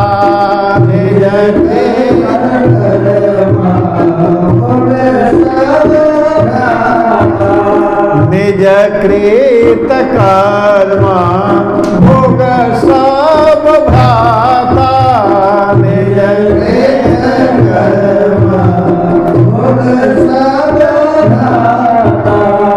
को भी व्यक्ति, कोई भी व्यक्ति किसी को सुख देता है, न दुख देता है। आप लोगों को जितने लोग बैठे हुए जिसको सुख मिल रहा है या दुख मिल रहा है, सब अपने कर्म का फल मिल रहा है। कोई किसी को सुखी करता है ना कोई किसी को जैसे आप लोग बैठ करके कथा सुन रही हैं माता जी लोग, आप लोग सुन रहे हैं। तो आप लोगों का एक कर्म बन रहा है, कर्म। ये एक तैयारी हो रहा है, इसका फल आपको बाद में मिलेगा। और जो नहीं सुन रहे हैं, उनका भी कर्म बन रहा है। मैं पहले ही शुरू में ही बोला कि जो जितना सावधान होकर के सुनेगा, उसका कर्म फल वैसा बनता जाएगा। इसमें कोई किसी को सुखी करता है ना कोई किसी को दुखी। एक ही माता के पेट से, गर्भ से चार संतान जन्म लेते हैं, दो संतान जन्म लेते हैं, एक संतान जन्म लेता है। माँ का पेट वही है, पिता वही है, माँ वही है। लेकिन जब बच्चे जन्म लेते हैं तो अपने अपने कर्म के अनुसार कोई अफसर बन जाता है, कोई जीवन भर मजदूर बना रहता है। कोई एसी के रूम में रहता है, कोई दिन भर खेत में काम करता रहता है। तो उसमें माँ का दोष नहीं है, उसमें पिता का दोष नहीं है। हम जो किए हैं, वही कर्म के रूप में फल बन करके आता है। हम जो किए हैं, वही फल बनेगा। अभी जैसे हम कर रहे हैं तो इसका फल हमारा तैयार हो रहा है। ये बाद में हमको मिलेगा। बाद में मिलेगा। तो यही बात यहाँ कहा गया है। वो कह रहा है, धुंधकारी, कि इसमें माता का दोष है, न पिता का दोष है। इसमें दोष है अपना। मैं जैसा कर्म किया था उसके अनुसार मैं आज प्रेत जोनी को प्राप्त हो गया तो हे भैया, आप क्या कीजिए कि आप मेरे भाई हैं तो आप इतना कर दीजिए कि मेरे प्रेत जोनी से मुक्त करा दीजिए। मैं प्रेत जोनी से मुक्त होना चाहता हूँ। तो इतना सुनकर गोकर्ण जी क्या बोले कि अरे भाई, तुम्हारे लिए मैं गया जी में श्राद्ध कर दिया हूँ। जैसे आजकल लोग कहते हैं ना कि हम तो पिंड दान कर दिए, हम पंडित जी को बुलाए थे, पूजा करा दिए हैं। लेकिन ये नहीं देखते कि पंडित जी गुटखा खाने वाले हैं कि तंबाकू खाने वाले अब जिसे पूजा कराए, वो कैसा पंडित है? पहले तो ये देखना पड़ेगा। हम लोग क्या करते हैं कि अपने मन से कुछ भी पूजा कर लेते हैं। सोचते हैं कि हमारा तो पितरों का कल्याण हो गया। लेकिन पहले जानना पड़ेगा ना कि जिससे मैं पूजा कर रहा था, वो व्यक्ति कैसा है? वो वास्तव में पूजा करने लायक है कि नहीं है? ये तो जानना पड़ेगा। तो हुआ क्या? कि वो कहे कि गया श्राद्ध सते नापिर, मुक्तिर में न भविष्य अरे मेरे भैया गोकर्ण जी, एक गया में श्राद्ध की बात क्या कर रहे हैं? हज़ारों श्राद्ध करने से इससे हमारी मुक्ति होने वाली नहीं है। आप इसके बदले में कोई दूसरा उपाय कीजिए। उपायम। कोई उपाय दूसरा कीजिए। इससे मेरा कल्याण नहीं होगा। उपायो नापरस्तु आप इसके लिए कोई दूसरा उपायम अपरम कश्चित। तुम विचार सांप्रतम। आप विचार करके कोई दूसरा उपाय कीजिए, जिससे मेरा कल्याण होगा, उद्धार होगा। इतना सुन करके गोकर्ण जी कहे धुंधकारी से कि देखो, रात्रि का समय है, अभी तुम शांत हो जाओ। मध्य रात्रि हो रहा है, तुम शांत रहो। और मैं समझ गया कि तुम्हारा उद्धार नहीं हुआ है, तुम्हारा कल्याण नहीं हुआ है, इसलिए मैं अब दूसरा उपाय करूँगा। गोकर्ण जी को रात में नींद नहीं आई, रात भर बेचारे सोचते रहे। ये नहीं कि डर के मारे, वो डर नहीं रहे थे। वो विचार कर रहे थे, भाई, अब अपने भाई का कल्याण कैसे करूँ? वो तो प्रेत बन गया है। उसका उद्धार करना ज़रूरी है। सच्चा भाई उसी को कहते हैं ना, सच्चा पुत्र उसी को कहते हैं कि जो अपने भाई, अपने माता पिता के लिए सोचे, उसी को अच्छा संतान कहा जाता है। और वो अच्छे नहीं होते कि अपने भाई के धन ले लें, अपने पिता का धन तो ले लें, लेकिन उनके लिए उपाय न सोचें। वो तो एक नंबर के लोभ ही कहलाता है कि धन तो खाने के लिए पीछे नहीं हटेगा, लेकिन उनके लिए कुछ भागवत कराना हो तो पीछे हट जाएगा। पैसा कहाँ है? मैं कहाँ से भागवत कराऊँ?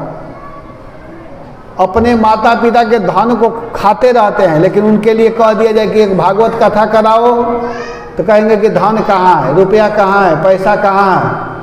तो वास्तव में वो संतान नहीं है, वो तो समझिए कि आपका दुश्मन ही पुत्र बन करके आया था। कभी कभी ऐसे भी होता है कि जो दुश्मन होते हैं, वही पुत्र बन करके आते हैं, संतान बन करके और जीवन भर कष्ट देते हैं। तो गोकर्ण जी कहे कि भैया, तू शांत हो जाओ, मैं उपाय करूँगा। और रात को सोए नहीं, सुबह हुआ तो उठे और घर से बाहर निकले सूर्य के गति को रोक दिए। भगवान जो सूर्य हैं, उदय हो रहे थे, उनको रोक दिए।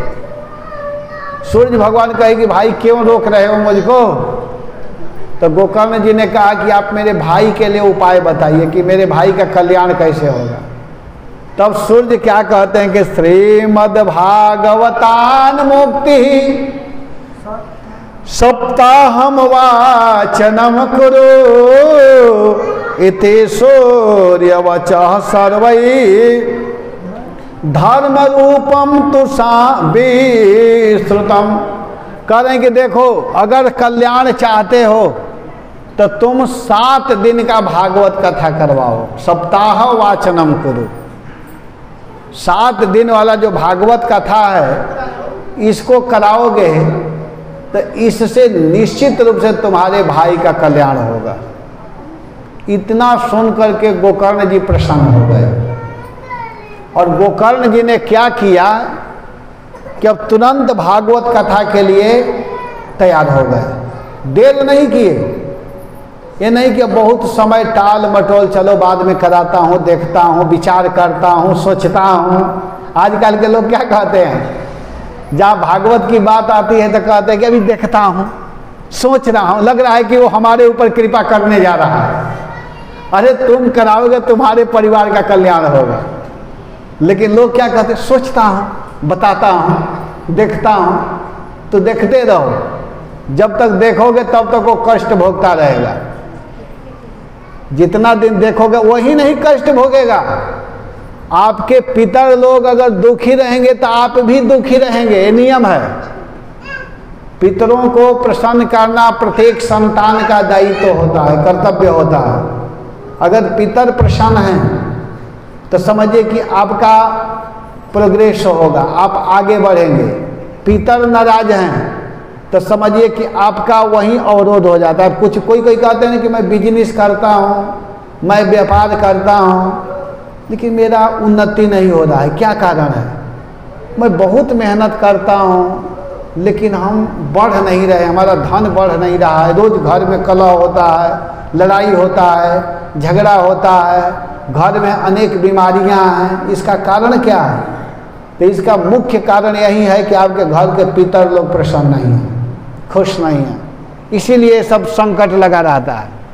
खूब पैसा कमाते हैं, लेकिन पैसा दिखाई नहीं देता है। रोग में लग जाता है, दुख में लग जाता है। लड़ाई झगड़ा में समाप्त हो जाता है। ये सब कारण होता है। तो गोकर्ण जी ने कहा कि मैं अभी भागवत करवाऊँगा, तुरंत अपने गाँव वालों को बुलाए। वो तो सन्यासी महात्मा थे। उनके पास कहाँ से पैसा? वो तो विरक्त महात्मा थे। लेकिन अपने गाँव वालों को बुलाए और कहे कि देखो भाई, मेरा भाई प्रेत बन गया है। मैं चाहता हूँ कि भागवत कथा कराया जाए। आप लोगों की क्या राय है? तो गाँव के जितने लोग थे, सब लोग कह के महाराज, भागवत कथा कराइए, हम लोग सहयोग करेंगे। वो लोग ये नहीं कहे कि तुम्हारे भाई के लिए हम लोग क्यों सहयोग करेंगे? भागवत में सब लोग सहयोग करने के लिए तैयार हो गए। ये नहीं कि एक व्यक्ति कथा करा रहा है तो हम क्यों सहयोग करेंगे? अरे, ये जो कथा है, भले एक करावे चाहे दस कराए, ये भगवान की कथा है। ये किसी व्यक्ति के घर का विवाह, शादी नहीं है। किसी लड़का, लड़की का विवाह नहीं है कि वो व्यक्तिगत है। ये प्रभु का कार्य है, इसमें अगर कोई भी सहयोग करेगा, कोई भी इसमें धन देगा तो इससे उसको लाभ होगा। ये नहीं कि उसको घाटा होने वाला है। घाटा नहीं होता है भगवान को दिया हुआ संपत्ति दस गुना करके लौट जाता है। जैसे मान लीजिए, यहाँ आप लोग कुछ चढ़ा रहे हैं तो जितना चढ़ा रहे हैं उसके ठीक दस गुना फिर आपके घर जा के मिलेगा। ये नहीं कि चढ़ाया हुआ व्यर्थ चला गया। कोई यहाँ ला करके कुछ दे दिया, तरी आज मेरा दस रुपया कम हो गया, सौ रुपया मैं चढ़ाया तो कम हो गया। जो जितना चढ़ा रहा है, उसके ठीक दस गुना होकर के उसको फिर मिल जाएगा। भगवान रखते नहीं हैं। एक गुना नहीं, दस गुना करके लौटा देते हैं। ये भगवान की भगवता, यही विशेषता। है भगवान कभी किसी व्यक्ति के लेते नहीं है, भगवान देते हैं। तो हुआ क्या कि गाँव के जितने लोग थे, सब लोग तैयार हो गए। कहे कि हम कराएँगे हम कराएँगे, हम कथा कराएँगे, हम कराएँगे, हम सहयोग करेंगे। आप चालू तो करो। और गोकर्ण जी ने क्या किया कि भागवत आरंभ किया। और गाँव के लोग सब तैयारी में लग गए। कोई झाड़ू लगा रहा है, कोई सजा रहा है, कोई फल ला रहा है, कोई मिठाई ला रहा है, कोई प्रसाद ला रहा है, कोई पंडाल को बढ़िया से कर रहा है, कोई प्रसाद बना रहा है। सब लोग लग गए। और भागवत कथा प्रारंभ हो गई। और जब प्रारंभ हुई तो धुंधकारी वायु के रूप में था, हवा के रूप में। अब वो हवा के रूप में कैसे रुकेगा, कैसे कथा सुनेगा? तब तक वहाँ एक बाँस का सात गांठ वाला बाँस दिखाई दिया, उसमें एक छिद्र था। ये नहीं कि पहले से बाँस गाड़ा गया था उसके लिए, ऐसा नहीं था। वो देखा कि कहाँ हमारे लिए जगह मिलेगा बैठने के लिए। और तब तक एक छोटा सा छिद्र दिखाई दिया, उसी में वो प्रवेश कर गया। वो वायु के रूप में था। और जब प्रवेश किया और कथा चालू हुई तो एक दिन की कथा होते ही प्रथम स्कंद स्पष्टम आख्यानम धनुजे करो। हुआ क्या कि पहला दिन के कथा होते ही बाँस का प्रथम ग्रंथि फट गया। दूसरे दिन की कथा हुई तो दूसरी ग्रंथि, तीसरे दिन की तीसरी। और ऐसे करते करते सात दिन में सातों ग्रंथियाँ फट गई। सप्त दीनेश चैव सप्त ग्रंथि विभेदनम। और इसके बाद में हुआ क्या कि दिव्य रूप धरो जात तुलसी दाम मंडित जो धुंधकारी प्रेत बना हुआ था, वो दिव्य रूप धारण करके वहीं प्रकट हो गया। पीतवास घन श्यामो मुकुटी कुंडलान्वित। पीला वस्त्र पहने हुए मुकुट, कुंडल खूब सुंदर रूप धारण किए हुए प्रकट हो गया। और प्रकट हो करके गोकर्ण जी के चरणों में प्रणाम किया। जो कथा सुना रहे थे, उनके चरणों में प्रणाम किया और प्रणाम करके कहता है कि, हे भैया, आज मेरा जीवन धन्य हो गया। मैं प्रेत जोनी से मुक्त हो गया। जो मैं प्रेत बना हुआ था, भूत बना हुआ था, उससे हमको छुटकारा मिल गया। और क्या कहता है कि धन्य भागवती बरता प्रेत पीड़ा विनाशिनी, सप्ताहो तथा धन्य, कृष्ण लोक फल प्रदा। कह रहा है कि धन्य भागवती बनता धन्य है भागवत की कथा। अरे भैया, कि धन्य भागवती बरता प्रेत पीड़ा विनाशिनी। ये भागवत की जो कथा है, वो प्रेत पीड़ा से मुक्त कराने वाली है। भूत जोनी से, प्रेत जोनी से मुक्त कराने वाली है। और उसमें भी तथापि सप्ताह हो तथा धन्य। जो सात दिन की भागवत कथा है, अगर उसको कोई सुनता है तो कृष्ण लोक फलप्रद। भगवान का धाम देने वाली यह सात दिन की कथा है। सात दिन की कथा को अगर कोई सुनता है तो वह कृष्ण लोक को प्राप्त हो जाता है। ये महात्मा के पांचवा अध्याय के तिरपन नंबर के श्लोक में है। पचास तीन तिरपन। कह रहे हैं, भागवत महात्मा के पांचवा अध्याय के तिरपन श्लोक में बोल रहे हैं कि धन्य भागवती बर्ता प्रेत पीड़ा विनाशिनी, सप्ताहोपि तथा धन्य। कृष्ण लोक फलप्रद धन्य है यह भागवत की चर्चा। सुन रहे हैं ना आप लोग कि इसको सुनते ही प्रेत पीड़ा से मुक्ति मिल जाती है। व्यक्ति प्रेत नहीं बनता। है जो अभी आप लोग भागवत सुन रहे हैं तो जो सुन रहे हैं वो कभी प्रेत बनेंगे ही नहीं। वो भगवान के धाम को प्राप्त हो जाएँगे। और जो मृत्यु को प्राप्त हो चुके हैं, उनके लिए भी अगर कोई भागवत सुन लेता है तो उनका भी उद्धार हो जाता है, कल्याण हो जाता है। ये ध्यान देना चाहिए। इसीलिए इस कार्य को ज़रूर कराना चाहिए। जीवन में व्यक्ति को ज़्यादा नहीं तो कम से कम एक भागवत ज़रूर कराना चाहिए। कुछ लोग तो ऐसे हैं कि प्रत्येक साल करवाते हैं। जैसे रोज भोजन करते हैं, कोई ऐसा व्यक्ति नहीं है जो कि रोज भोजन नहीं करता। है तो वैसे ही सोचते हैं कि चलो साल में एक हम भागवत कराएँगे। इससे सालों भर घर में सुख, शांति, आनंद रहता है। व्यक्ति सुखी रहते हैं, उसका परिवार आगे बढ़ता है। कभी भी जीवन में कमी नहीं होती है। वो व्यक्ति प्रसन्न रहता है। धन की कमी नहीं होती है, परिवार में स्नेह बना रहता है, पुत्र, पत्नी, माता, भाई, बंधु, सब लोग प्रसन्न रहते हैं, आनंद का अनुभव होता है। और जो इस कार्य को नहीं कराता है तो देखने में लगता है कि बहुत कमा रहा है, लेकिन हमेशा परेशान रहता है, हमेशा बेचैन रहता है, हमेशा उसको कोई ना कोई आधी व्याधि, कष्ट, दुख लगा रहता है। तो हुआ क्या कि धुंधकारी जी सुंदर शरीर को प्राप्त कर लिया। और इतना ही नहीं, हुआ क्या कि देखते देखते उनके सामने एक विमान आ गया, सुंदर। बहुत सुंदर विमान आ गया। और चार सुंदर भगवान के पार्षद आ गए। देखिए, कथा सुनने का फल देखिएगा क्या हो रहा है कि जो प्रेत बना हुआ था, उसके लिए सुंदर विमान आ गया। ले जाने के लिए भगवान के चार पार्षद आ गए। और धुंधकारी को कहे कि अब आप इसमें बैठिए विमान में, अब चलना है भगवान के धाम। तो जब वो उस विमान में बैठ गए, और गाँव के सभी लोग देख रहे हैं, जितने लोग थे सब देख रहे हैं कि भाई धुंधकारी के लिए तो विमान आ गया। तब गोकर्ण जी पूछ रहे हैं, जो विमान लेकर के आए थे भगवान के भक्त, पार्षद, उनसे पूछ रहे हैं कि अच्छा ये बताइए कि सात दिन तक कथा मैं सुनाया। हमारे गाँव के जितने बेचारे लोग हैं, सब लोग बैठ करके कथा सुन रहे थे। लेकिन विमान केवल एक धुंधकारी के लिए ही क्यों आया? केवल इसी के लिए विमान क्यों आया है? सबके लिए आना चाहिए ना, सब कथा सुन रहे थे। तो केवल इसी के लिए क्यों विमान आया? ये तो ठीक नहीं है। तो भगवान के पार्षद कह के देखो कथा पंडाल में सब लोग बैठे हुए थे, लेकिन सबका मन भागवत में नहीं लग रहा था। बैठने को तो बैठ गए थे, लेकिन सोच रहे थे कि कब छः बजेगा। अभी तक बंद नहीं हो रहा है, कब कथा बंद करेंगे, इसी तरह रात भर करते रहेंगे, क्या करेंगे? बार बार घड़ी, बार बार सोच रहे थे कि कब कथा को बंद करेंगे।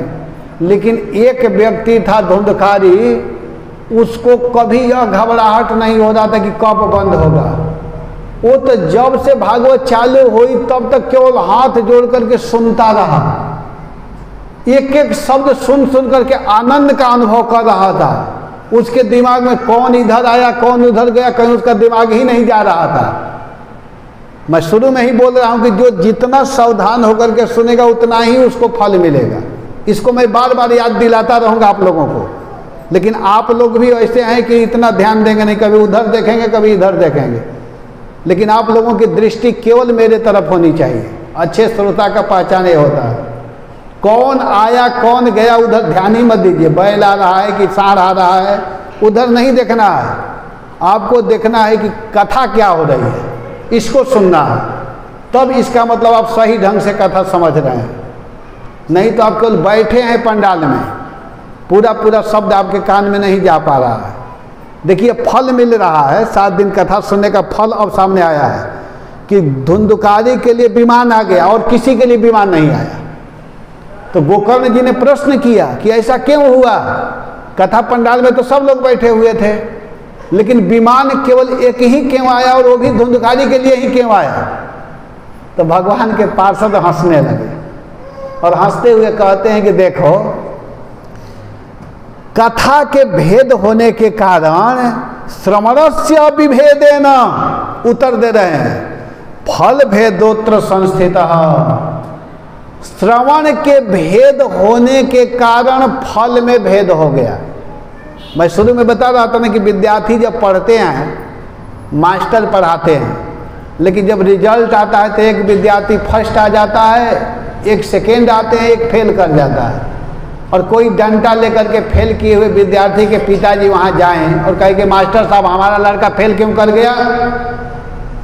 तो उसमें उसी का गलती है। मास्टर का कोई गलती नहीं है, क्योंकि वो तो बेचारा पढ़ा रहा था, तुम्हारा विद्यार्थी, तुम्हारा बेटा पढ़ नहीं रहा था। वो स्कूल के बाहर जाकर के बैठ करके मोबाइल देख रहा था। इसीलिए वो फेल कर गया। तो अब प्रश्न किए हैं तो कह रहे हैं, भगवान के पार्षद लोग कि श्रवणस्य विभेदेन श्रवण के भेद होने के कारण फल में भेद हो गया। क्यों?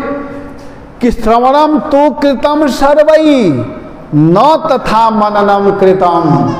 पंडाल में तो ज़रूर बैठे थे, लेकिन मनन चिंतन केवल धुंधकारी किया। और लोग केवल बैठे ही थे, सुन रहे थे, लेकिन अपने भीतर नहीं ले जा रहे थे। केवल यही समय पास कर रहे थे। कब तीन घंटा पूरा होगा, कब तीन घंटा पूरा होगा, कब तीन घंटा, उनको केवल तीन घंटा दिखाई दे रहा था। केवल आनंद ले रहा था तो वो एक ही व्यक्ति था जिसका नाम है धुंधुकारी। इसीलिए फल में भेद हो गया, तुम लोगों को विमान नहीं आया। तुम लोग यहीं रह गए, वो भगवान के धाम जा रहा है।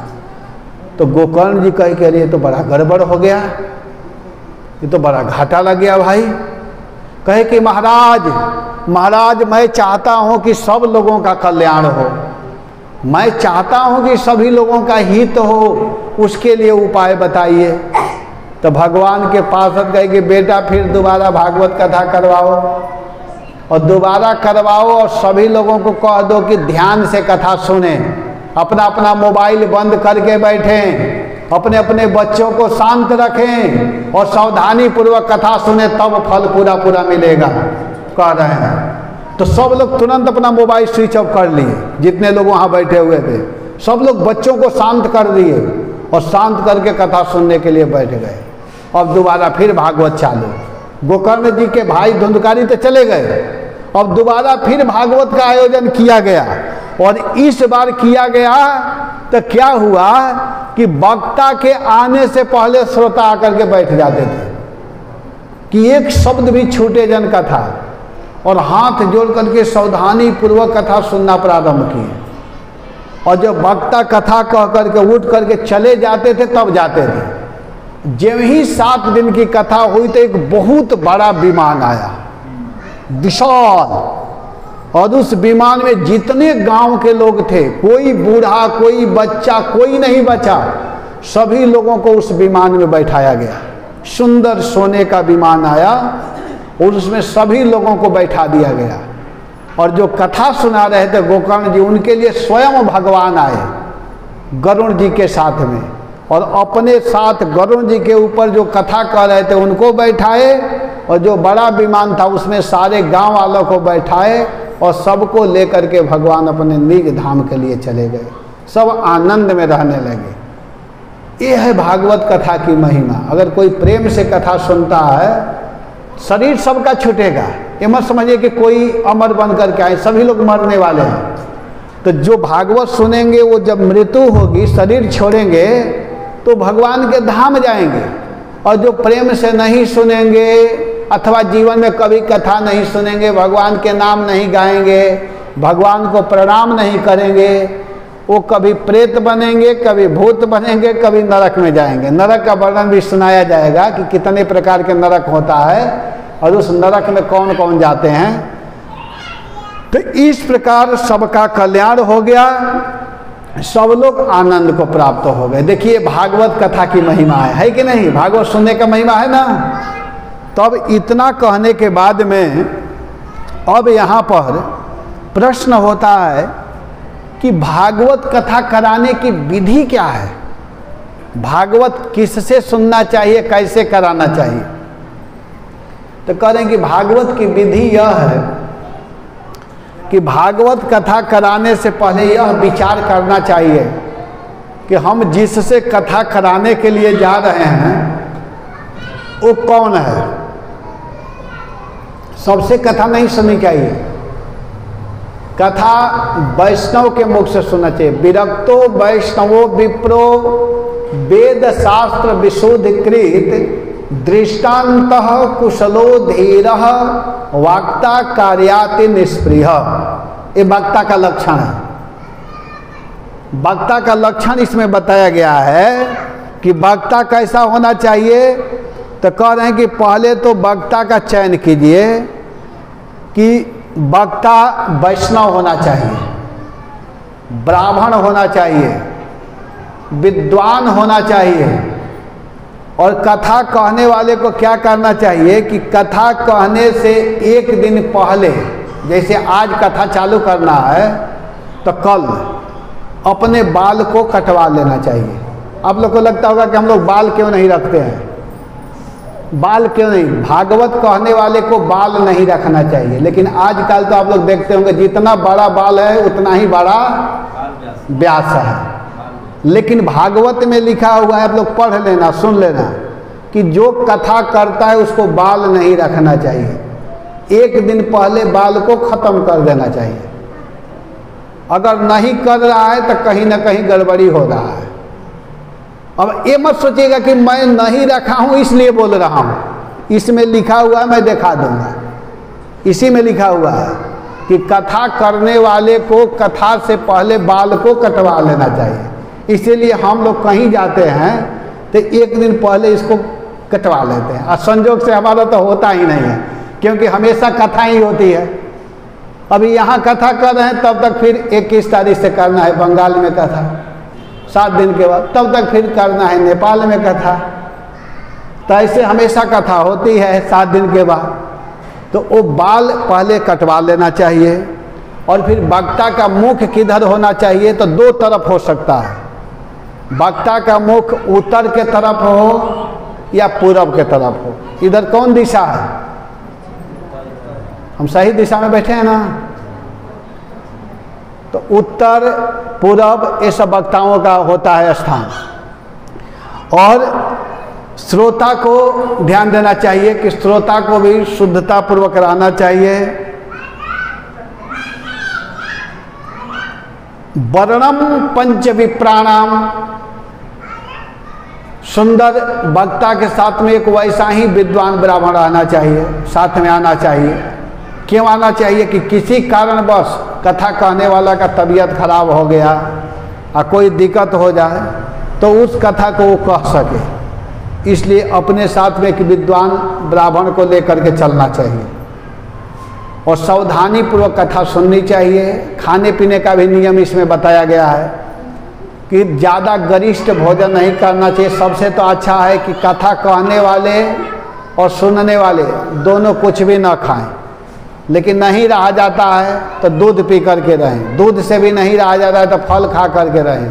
फल से भी नहीं रहा जाता है तो एक बार भोजन करें। एक बार से नहीं रहा जाता है तो दो बार करो, तीन बार करो, उससे कोई दिक्कत नहीं है। लेकिन कथा सुनने में विघ्न नहीं आना चाहिए।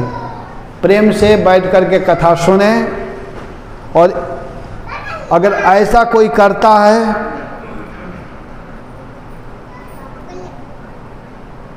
तो इससे भगवान प्रसन्न होते हैं और अंत में कहा गया है कि कथा होने के बाद जब कथा समापन हो जाए तो वक्ता को खूब सुंदर ढंग से उनको विदा करना चाहिए, अपने शक्ति सामर्थ्य के अनुसार उनको भेंट देना चाहिए और इसके बाद में उनसे आज्ञा ले करके फिर आप लोग अपने घर के कार्यों में लग जाइए। तो ये सब इसमें बताया गया है। जैसे भगवान जब इस धारा धाम को छोड़ करके चले गए थे तो भगवान के जाने के बाद ठीक तीस बरस के बाद जब भगवान इस पृथ्वी को छोड़ करके गए तो तीस वर्ष के बाद सुखदेव गोस्वामी ने महाराज परीक्षित को कथा सुनाया। ये कब सुनाया? भादो के महीना शुक्ल पक्ष राधा अष्टमी के दूसरे दिन नवमी तिथि से, पूर्णिमा तिथि तक सुनाए कौन? सुखदेव गोस्वामी। किसको सुनाए? राजा परीक्षित को। भगवान जब छोड़ करके चले गए थे इस संसार को तो ठीक तीस बरस के बाद। इसके बाद जब 230 बरस बीत गया, अब 200 वर्ष और बीत गया, तब गोकर्ण जी ने धुंधकारी को कथा सुनाया। अर्थात भगवान के 230 वर्ष जाने के बाद आषाढ़ मास के शुक्ल पक्ष नवमी तिथि को गोकर्ण जी ने धुंधकारी को कथा सुनाया। और इसके फिर 30 वर्ष के बाद, अर्थात 260 वर्ष के बाद, भगवान के जाने के 260 वर्ष के बाद, कार्तिक शुक्ला नवमी, जिसको अक्षय नवमी बोलते हैं, अक्षय नवमी के दिन को सनकादिक लोग नारद जी को सुनाए। भक्ति महारानी के दोनों लड़के को जवान बनाए। तो इस प्रकार कथा सुनाया गया और जहाँ कथा होती है, वहाँ पर बड़े बड़े महात्मा बड़े बड़े साधु बड़े बड़े लोग वहाँ पर आते हैं, असारे संसारे, विषय विष संगा कुल धिया क्षणार्धम क्षेमार्थम पिबत सुख गाथा तुलसुदाम किमर्थम व्यर्थम भो? ब्रजत कुपथे कोशित कथे? परीक्षित साक्षी श्रवण गत मोक्त्युक्ति ते कथन। कह रहे हैं कि इस असार संसार में विषय रूप विष की आसक्ति के कारण जो व्याकुल बुद्धि वाले पुरुषों अपने कल्याण के उद्देश्य से आधे क्षण के लिए भी इस सुख कथा रूप अनुपम सुधा का पान करो। अरे मूर्ख आधे क्षण के लिए भी इस कथा को सुनो। प्यारे भाइयों, निंदित कथाओं से युक्त कुपथ में व्यर्थ ही क्यों भटक रहे हो? इस संसार रूपी निंदक कथा में क्यों लगे हुए हो? इस कथा के कान में प्रवेश करते ही अगर कोई सुख गोस्वामी के द्वारा निकली हुई कथा को कोई सुनता है और यह कथा उसके कान में थोड़े देर के लिए भी जाती है तो मुक्त हो जाते हैं। इस बात के साक्षी महाराज परीक्षित हैं। प्रमाण हैं कि महाराज परीक्षित को श्राप लगा हुआ था, लेकिन भागवत कथा सुन करके वो मुक्त हो गए। इसीलिए कहा गया है कि अरे मुक्ति के कोई तो जतन कर लो रोज थोड़ा थोड़ा हरि का भजन कर लो। थोड़ा थोड़ा हरि का रोज थोड़ा थोड़ा हरे भजन कर रोज थोड़ा थोड़ा हरि का के कोई तो जतन कर लो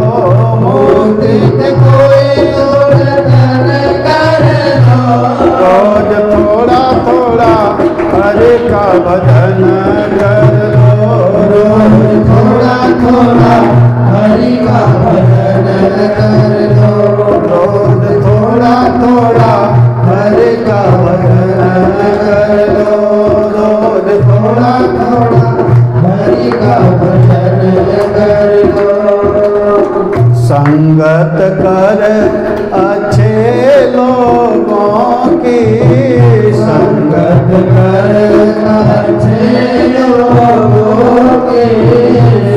संगत कर अच्छे लोगों के संगत कर अच्छे लोगों के दावा मिल जाएँगे सभी लोगों की।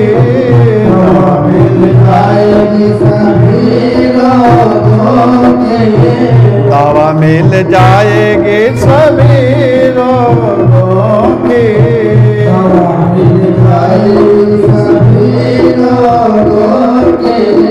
आत्मा के साथ साथ मन